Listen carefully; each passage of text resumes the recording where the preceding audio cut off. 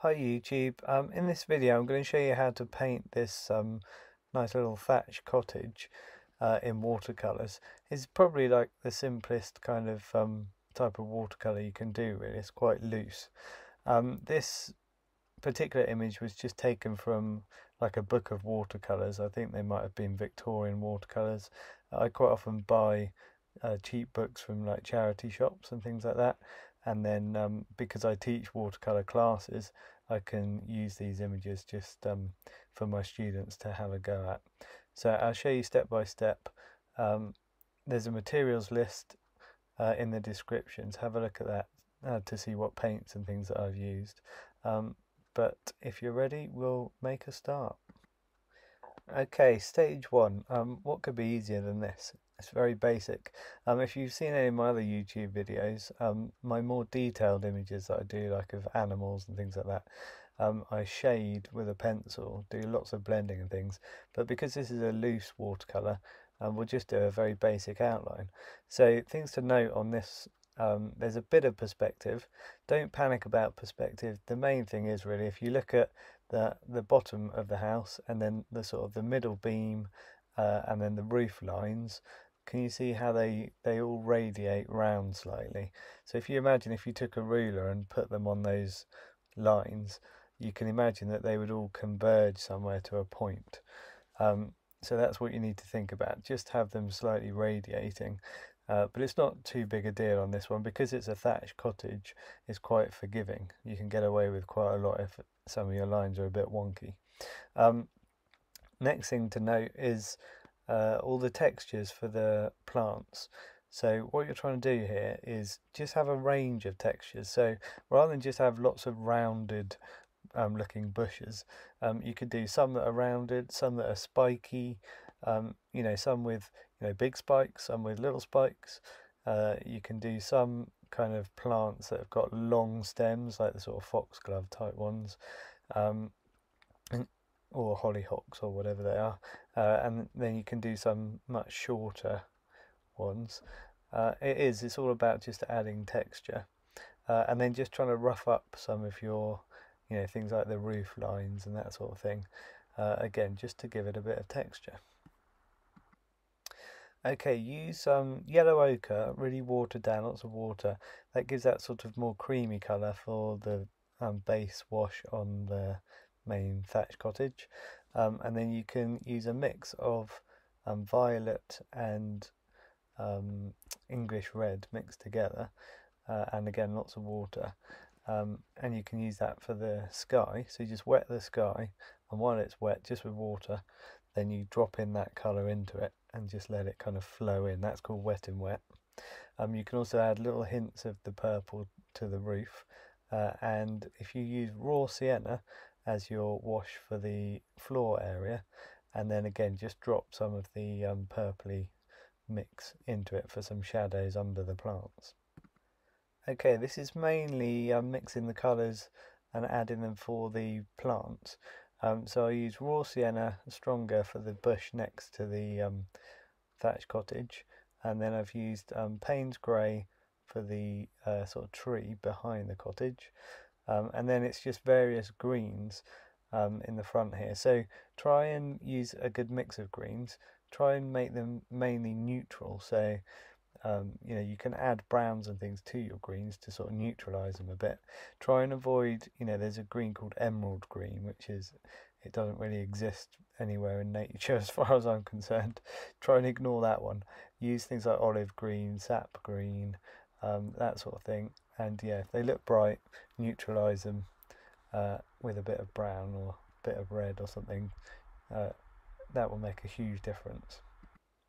Okay, if you add our same mix of um, violet mixed with English red, um, you can use that for the the beams on this, um, and then it's raw sienna, uh, and you can either mix that with a bit of umber um, or a bit of English red, and this is for the um, shadows underneath the roof um, and just along the, the top of the roof you can have another sort of purple line as well that helps so this all helps kind of break up and also the door uh, the space where the door is can be done in raw sienna as well and also note there are a couple of shadows like underneath plants uh, in the foreground as well.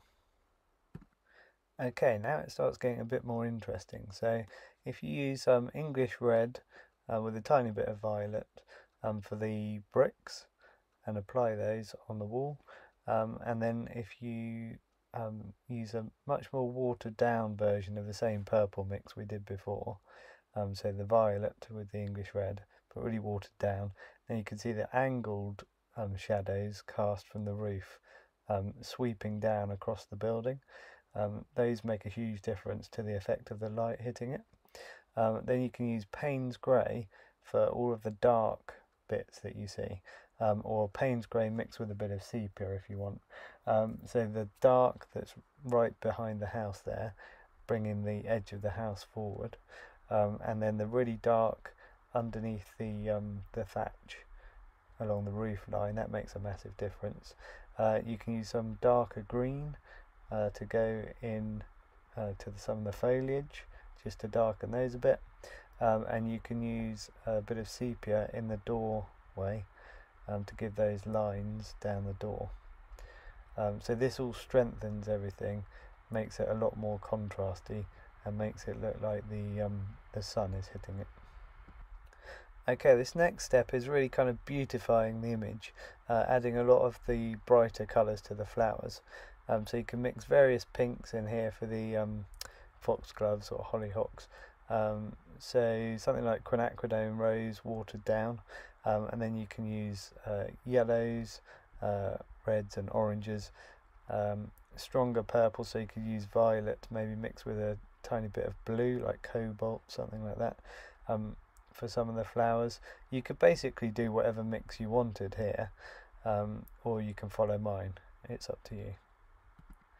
Um, there's also more Payne's Grey added and quite strong, so quite a lot of pigment. Um, this is for the lattice work in the windows, so you're just wanting to put those sort of diamond shapes in, uh, leaving the white of the paper to give that effect.